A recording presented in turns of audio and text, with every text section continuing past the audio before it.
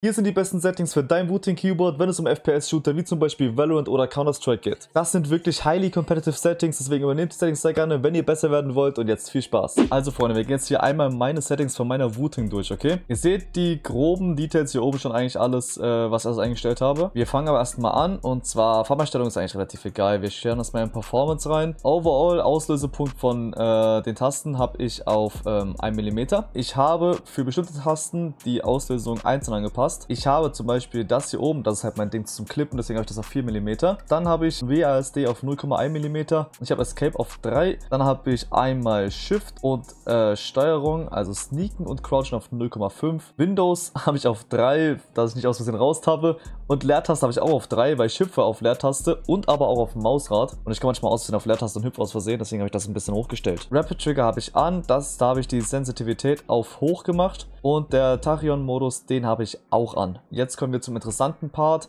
nämlich erweiterte Tasten, wo wir die Software Rappy Snappy oder Snappy Tappy einstellen können, also SOCD. Aktuell spiele ich mit Snappy Tappy, also SOCD. Das ist quasi die Software, die Razer ins Leben gerufen hat, die aber auch Wooting nach 24 Stunden reingemacht hat und so wie auch, ich glaube auch Steel Series haben jetzt auch nachgezogen. Und ich denke mal, dass die Software jetzt auf jeden Fall die nächsten neueren Keyboards alle bekommen werden. So, SOCD habe ich wie folgt eingestellt. Ähm, ihr seht es hier schon.